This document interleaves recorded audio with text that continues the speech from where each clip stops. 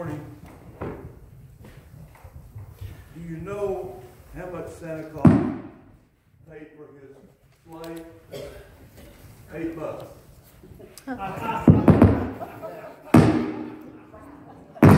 Something's going bad wrong here. I've got it on. Way too loud. Yeah.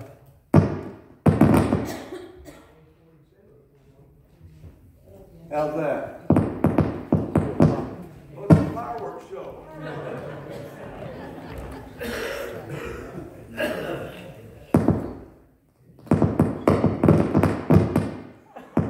That's the finale.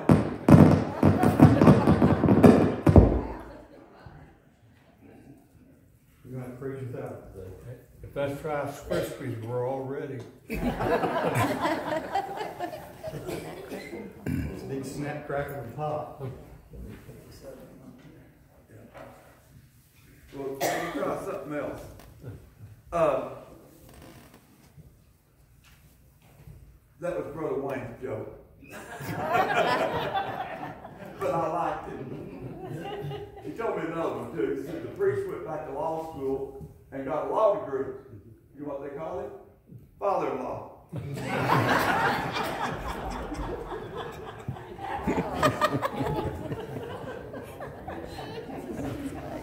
All righty then. Forgive my voice this morning is uh, gravelly and breaking up all the time. I don't know what's going on, but anyway, uh, I got one other little humorous thing I want to uh, show us this morning. I understand that Ray got a Christmas gift. What'd you get, Ray? May I? Yes. Oh. Precious couple right there, and I don't know their names. Brought me a whole bag of nuts. This little boy right here, he's gonna preach a little bit, and the nuggets are gonna flow. If you don't get anything out of it, and I don't hear nugget, please come and see me. Thank you.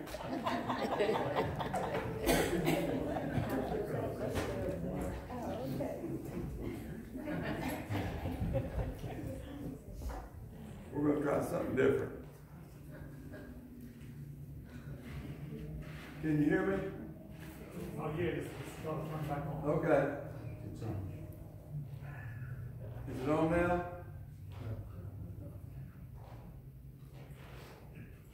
All right.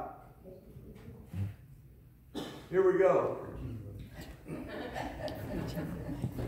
First of all, it's good to see everyone good this morning. Thank you so much for coming. I trust that you'll get a blessing from the precious Word of God. Uh, Get down to uh, seriousness now. Yes. Uh, since we've got all the, the laughs out of the way, there it went. Glory. You know, it's amazing because Mike and I didn't talk this week about the song service, but the songs that he sang this morning, uh, that we sang together, uh, are really about what I want to preach on. I want to preach on the heavenly priest. And uh, I'll tie it in as we go.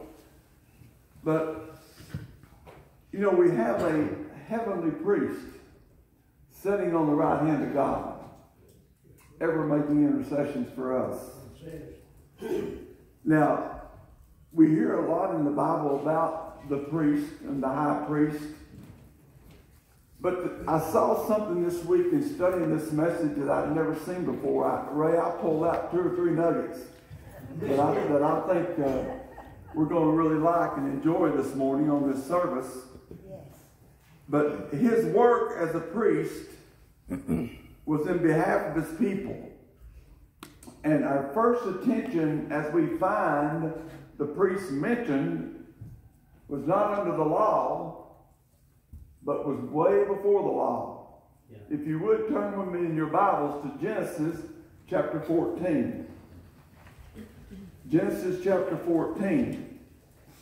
I want to read verses 11 and 12. And they took all the goods of Sodom and Gomorrah and all their victuals and went their way. And they took Lot, Abram's brother's son, who dwelt in Sodom, and his goods, and departed. Now, if you were to read this whole chapter, you'll find that Lot was living in Sodom, mm-hmm.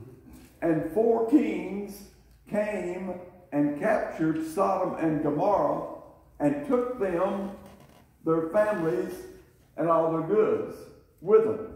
Okay?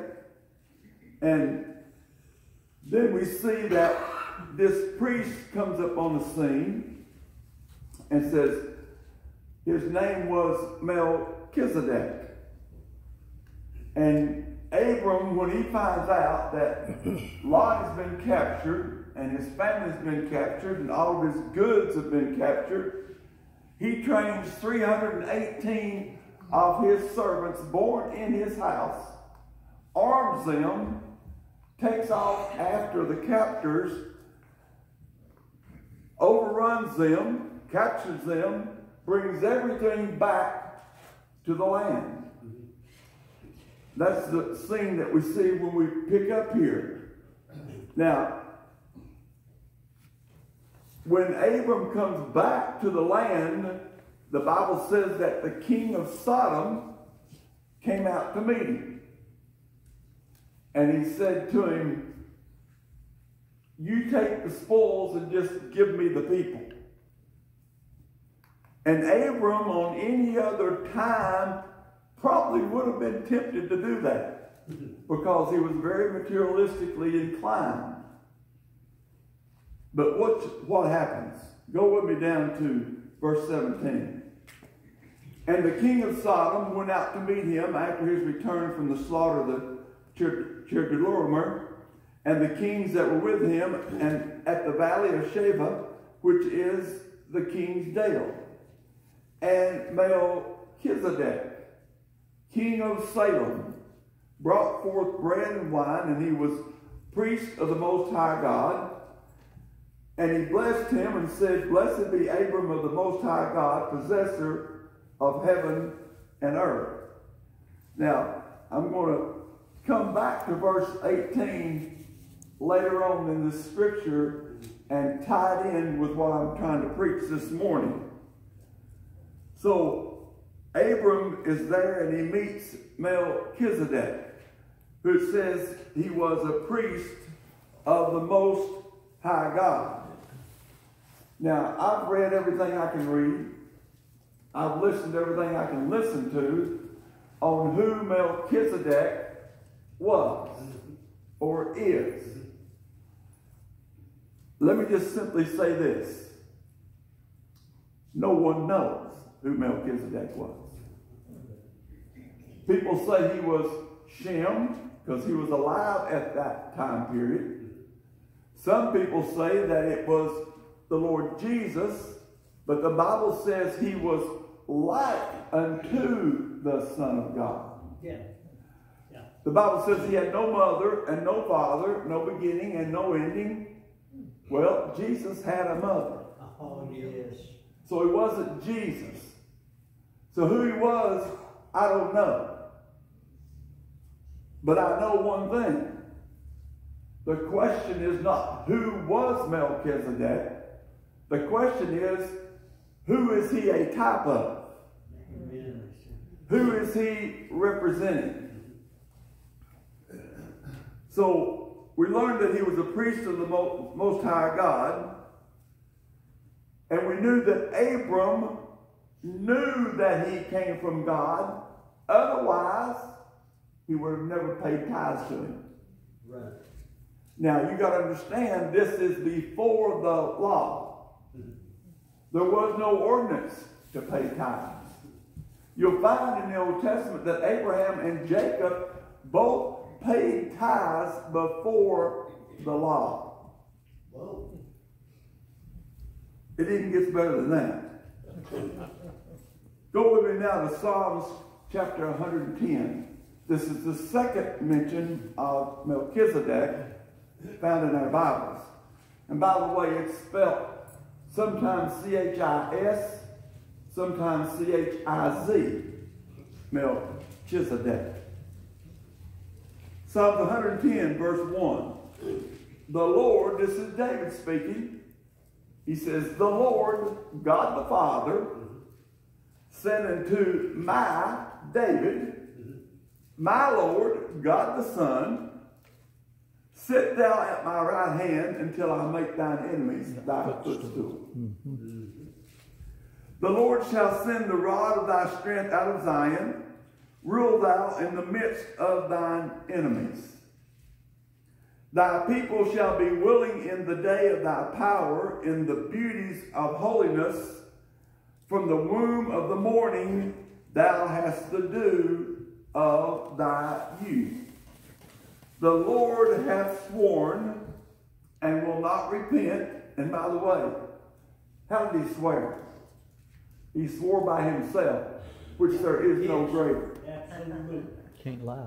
Thou art a priest forever after the order of Melchizedek.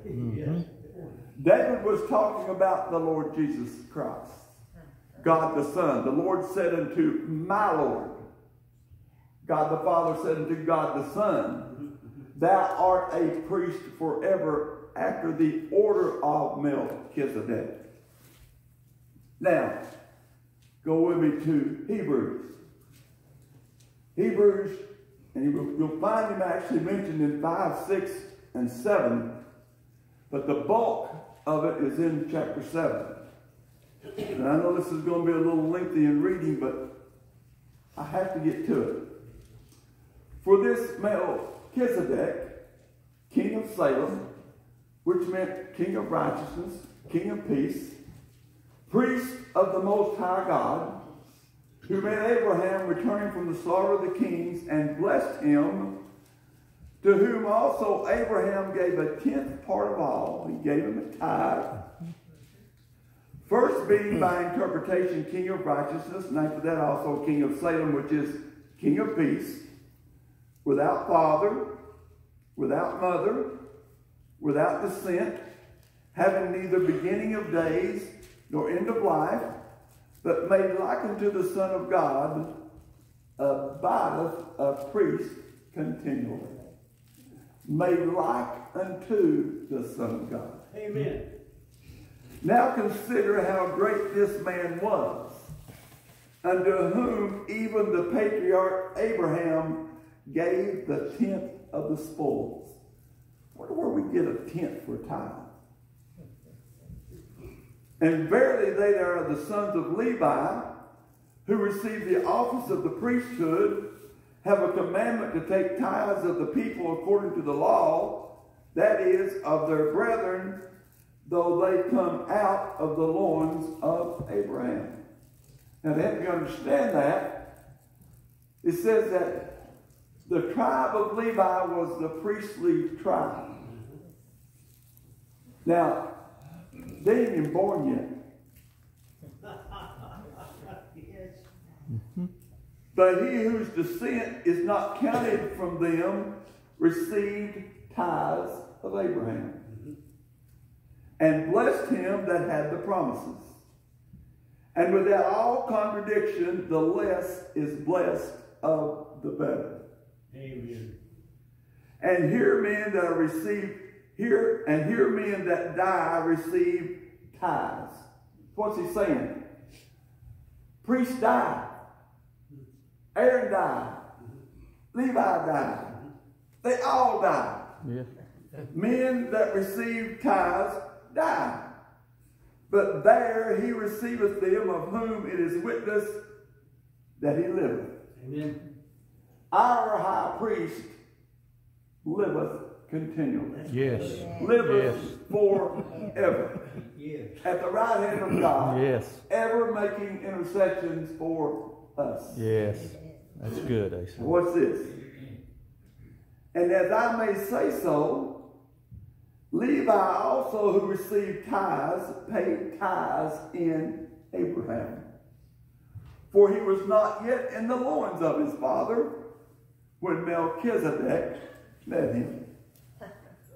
You see that? Yes. Levi, the priest, paid tithes to Melchizedek, even though He wasn't even born. What a nugget. He gave tithes through Abraham. What a nugget.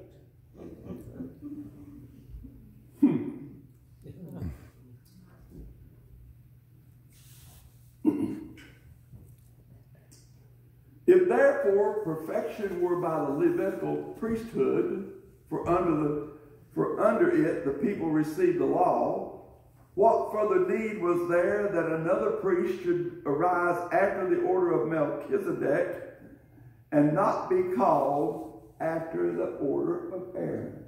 Why were we to have another priest that wasn't a priest of Aaron from the Levitical tribe? Because it is a better thing. Yes. For he, the priesthood being changed, it changed from the law to grace. It was coming. There is made of necessity a change also of the law. Thank. Christ didn't come to condemn the law, he came to fulfill the law. Yes. Made a little lower than the angels. He died that we could have a high priest sitting at the right hand of the Father, That's great. ever, ever making intercession for us. For he of whom these things are spoken pertaineth to another tribe. He didn't come from Levi. He came from Judah. of which no man gave attention at the altar. There was no priest come from the tribe of Judah. For it is evident that our Lord sprang out of Judah, of which tribe Moses spake nothing concerning priesthood. And it is yet far more evident, for that after the similitude of Melchizedek, there ariseth another priest. Amen. Melchizedek was simply a type. Sure was. He was a picture Yeah. of our high priest, who is made not after the law of carnal commandment, but after the power of an endless life. Do you see that? Yes. He is eternal life. Yeah. I keep saying it every message. He is eternal life. Yes, he is. You don't have eternal life outside of Jesus Christ. Yes. It is He. True. Who is made not after the law of car- carnal commandment, but after the power of an endless life.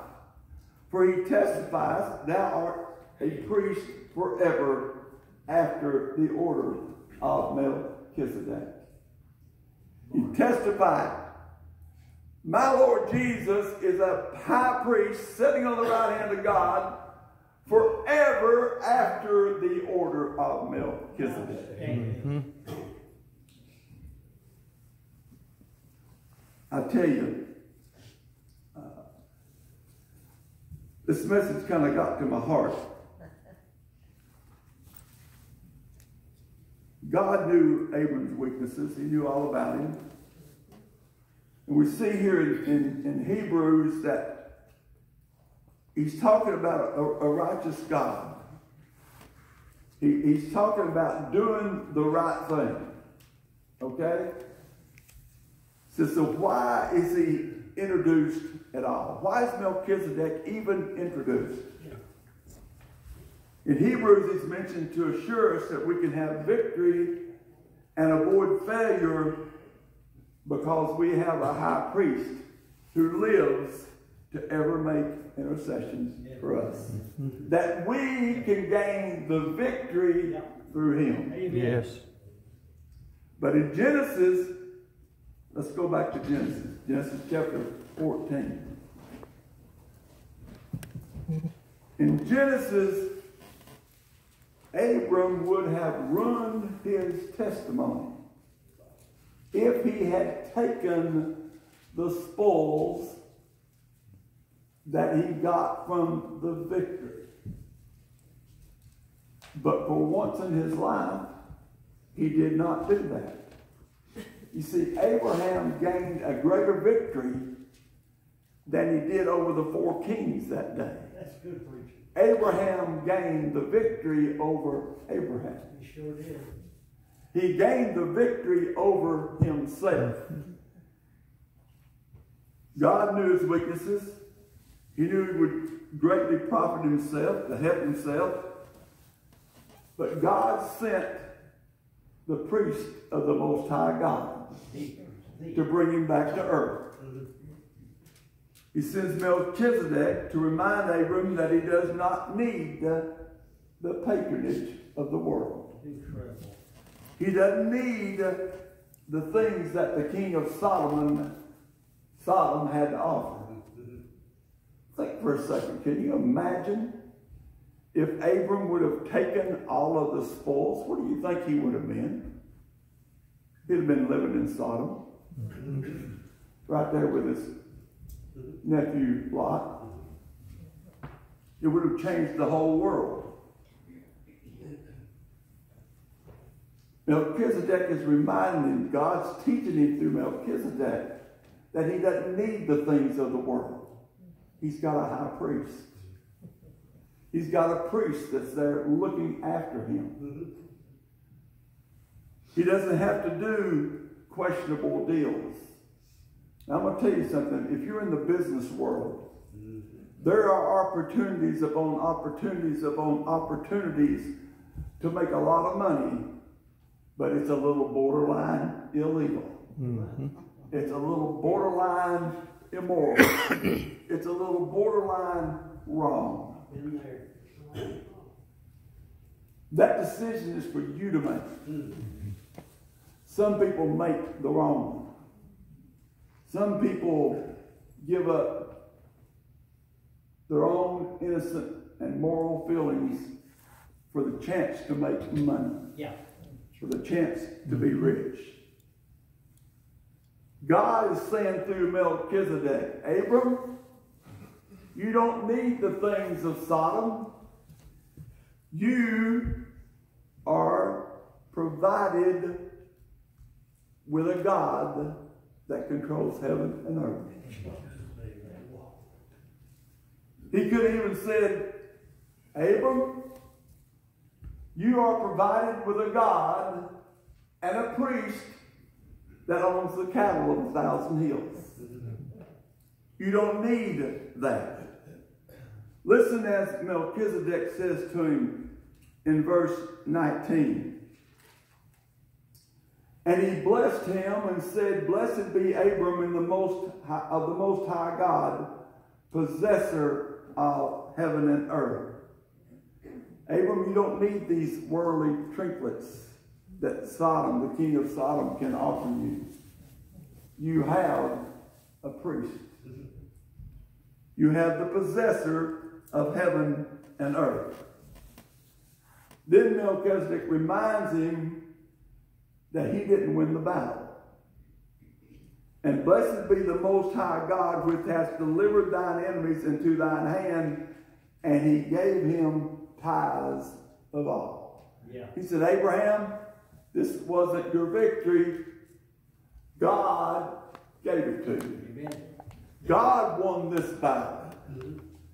Gave it to you. 318 men defeated thousands. Yeah.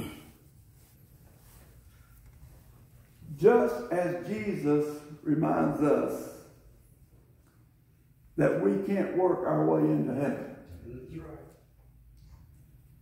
Jesus won the battle at Calvary. Yes. He paid the price.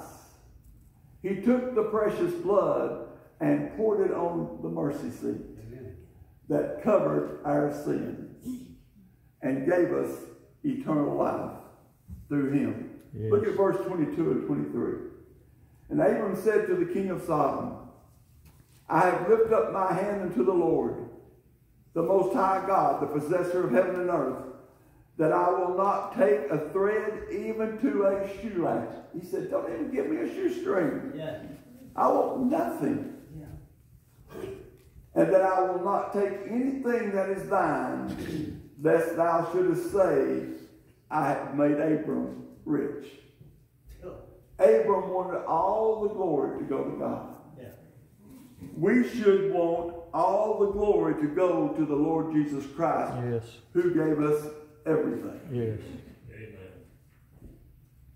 Now, Abram had conquered himself and surrendered to God, and now comes the reward. Look at verse 15, uh, chapter 15, verse 1. After these things, the word of the Lord came unto Abram in a vision, saying, Fear not, Abram, I am thy shield and thy exceeding great reward. That's right. Amen. Listen, we accept Jesus Christ as our Savior. Our high priest who sits on the right hand of God, he is our exceeding great reward. Yes. Yeah. He did it all Yes. just for us. We do not need, listen, listen to me good.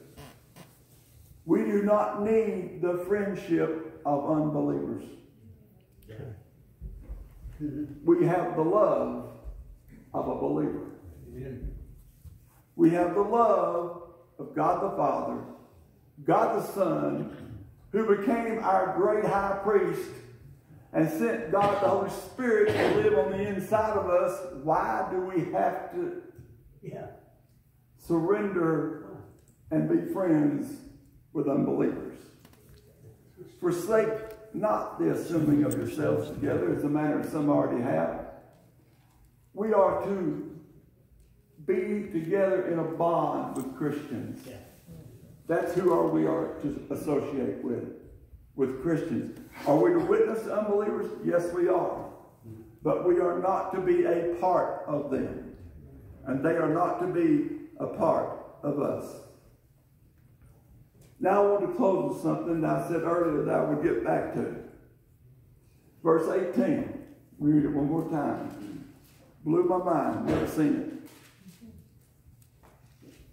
And Melchizedek, king of Salem, brought forth bread and wine. I told you that the Levites, Levi gave tithes to Melchizedek through Abraham. Watch this. Abraham and Melchizedek took part of the Lord's Supper before it ever happened. what did he bring? Bread and wine. Bread and wine. They partook of the Lord's Supper thousands of years before it happened. But when the great high priest come, what did he say? This do in remembrance of me until I come again. We partake of the Lord's Supper, bread and wine, in remembrance of what he did for us. Is that not That's unbelievable? amazing. Thousands of years before it was instituted, Abram and the priest of the Most High God celebrated the Lord's Supper. Listen, the question today is not who was Melchizedek? The question is who did he typify? Who did he represent? Yep. He was a representative. He was like unto the Son of God. He was a representative of our great high priest, the Lord Jesus Christ. Mike, come and get a song. Listen as I quote Hebrews chapter 13. I'll close with these verses. Let your conversation be without covetousness, and be content with such things as you have. Listen, we may not have everything we want in this life. Just like Abram didn't. But Abram was content with what he had. Listen, I'm content with what I've got. And I'm not speaking materialistically, although I am content with that. I'm speaking spiritually. I'm content that I've got the Lord Jesus Christ as my personal Savior who died to give me eternal life and went to God the Father and sat on his right hand and said, Okay, Lord, I'm ready to do what you need me to do. I want to take make intercession for Mike, Kim, Ray, Wendell, Steve, Jenny, everybody here that knows Christ as their Savior, we have a great high priest that's fighting for us. He is our advocate. Thank you. He said, God, He can't touch them. They're under the blood. Praise the Lord. Thank you, Lord. I will never leave thee nor forsake thee. So that we may boldly say, The Lord is my helper, and I will not fear what men shall do unto me. I hope and pray that I never have to go through what some Christians have had to go through in this life. But I will not fear what men shall do unto me. Because I have a great high priest ever making intercessions for me. Let's all stand. I hear the Savior. say,